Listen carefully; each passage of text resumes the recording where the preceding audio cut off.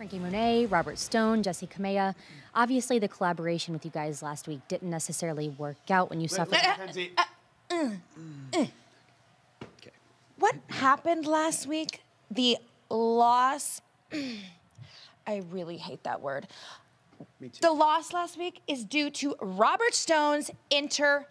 I'm sorry. Okay, I get it. You and Jessi, you're used to losing. You're both losers. And Franky Monet doesn't even know what that word means, okay? Franky Monet is not a loser. I get it. I completely so completely if this it. little group is gonna work, It is. it has to be rebuilt Oh yeah. in Franky's image, Franky's way, and under Franky's rule. Franky's rules totally. Uh huh. so take it or leave it. I'm taking it. Okay, I'm not leaving anything. I'm taking it. Are you taking it, Jessi? Are you taking that and not leaving it? This is all clear, crystal clear. Okay. Thank you.